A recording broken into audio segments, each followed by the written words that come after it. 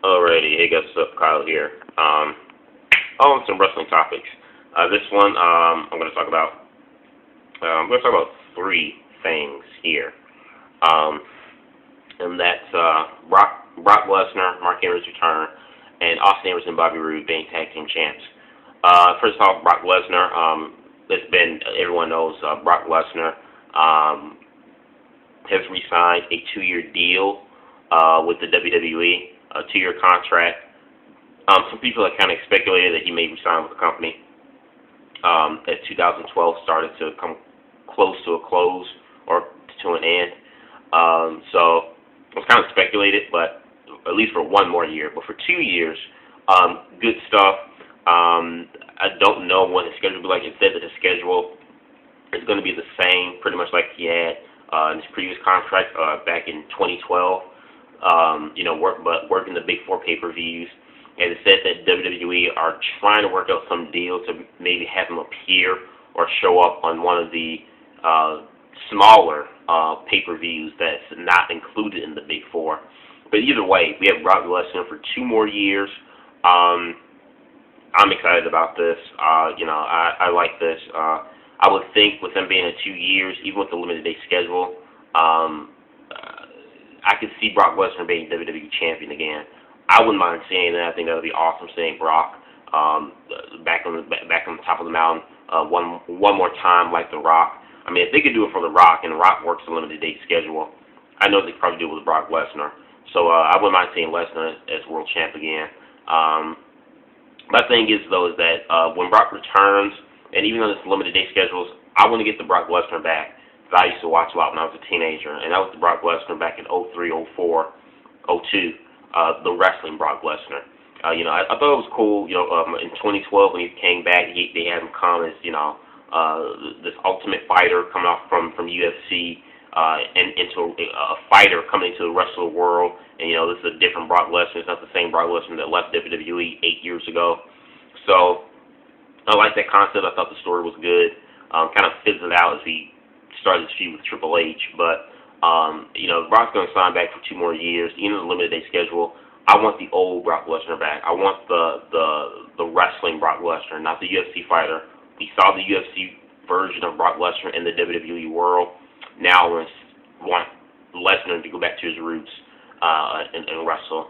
Uh, that, that's the Brock I fell in love with and became a fan of when I was when I was a teenager. That's the Brock Lesnar I want to see again. So, but either way, glad to see Brock back.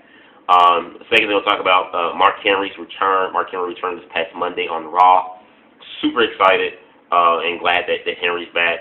Uh, my thing is, slap a title on him fast. Because um, I think Mark Henry deserves it. Uh, you know, he was supposed to get a, a, a longer run than what he had uh, when he was world champ last year, or back in late 2011, but he had injuries that had to cut his, his title reign short. But, uh, you know, Mark Henry, he, he looks healthy, looks good. Um, he looks like he's he's lost a lot of weight um, in the last you know ten months, almost a year. He's been gone. It looked like he might have dropped about at least around seventy to ninety pounds. Uh, you know, looking at him on Raw and then on his match against Randy Orton on SmackDown, he, he he's a little bit more agile, kind of a little bit more light on his feet. Um, just he just looks very refreshed, lost some weight, more agile, and, and a little bit lighter on his feet compared to you know, a, year ago um, when, when he was gone. So really glad to see Mark Henry back. Uh, definitely want to see him be a world champion again. Uh, this time around, I would like to actually see him be a WWE champion. Uh, you know, because the, the the world title is is the is the is the world is the world the heavyweight championship is the world title of the two that they just kind of give to just they'll just give to anybody. The WWE title is is the holy grail. That's the belt that very few people uh, can then claim to. And I think Mark Henry just doing seeing the fantastic performance that he did back in 2011 as champ and his rise, and seeing him come back and thank God he's still a big monster, and they didn't have him turn as a, a baby face. I think Mark Henry deserves that WWE title reign. I'd like to see him as WWE champ and switch him on the Raw brand. I would love to see that. Uh, but if he went for world titles again, that'd be fine too. But I would really like to see him go after the WWE title. Um, so nothing but great hopes for Mark Henry. Um, I could possibly see, it wouldn't surprise me if they would use Mark Henry later down the line, maybe later this year, um, as a stepping stone or a challenge for Ryback. I could see that uh, down the line uh, in the future. Um, that could be Ryback's WrestleMania opponent, Mark Henry. Never know. Um, but anyway, and then the last thing I'm to talk about is uh, Bobby Roode and Austin Aries tag team, tag team champs this past Thursday. These guys together, pure gold. This is probably one of the best, best ideas that you know that TNA has had for for two characters and bringing them together that I've seen in probably a long time. Uh, Bobby Roode and Austin Aries equals pure gold entertainment. I enjoy these guys much much better than Team Hell No. Team Hell No were kind of funny in the beginning and how you know they were brought together, but then after a while with the whole hug it out thing, it ran its course way too fast and WWE burned it out. And it's just like I just don't want to see Team Hell No on my team on TV anymore. And I love Daniel Bryan, big fan. But I just don't want to see them together as a team anymore on my television. They're not funny to me anymore. Uh, but Roode and Aries, I mean, these guys, hilarious. I mean, you have Bobby Roode going in and saying how he's the you know the longest running champion in that company's history, and then Aries to say, yeah, and I beat you. You know, it's a thing where it's like they really don't like each other.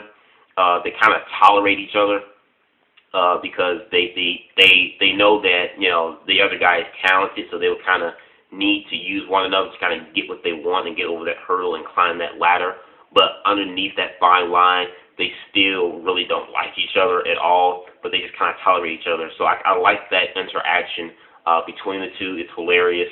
Hell of a match they had this past Thursday on Impact. I mean, the show itself was great, except for the main event. The main event's a little bit dull, but the rest of the show made up for that. But uh, really good, solid show. Best match of the night. I loved how they played it off, where um, Aries and Roode kind of got into a, uh, an argument, and Roode's like, "Screw you, I'm out." And I'm thinking, I'm like, "Oh God, they're about to get ready to lose."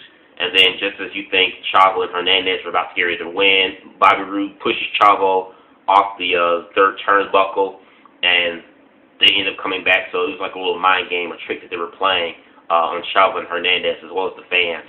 Uh, I thought that was really great booking. It made it even more exciting because, like, okay, it's like you go down, it's like, oh, they're going to lose. And then see Bobby come right back and help them out. It's like, oh, they're going to win.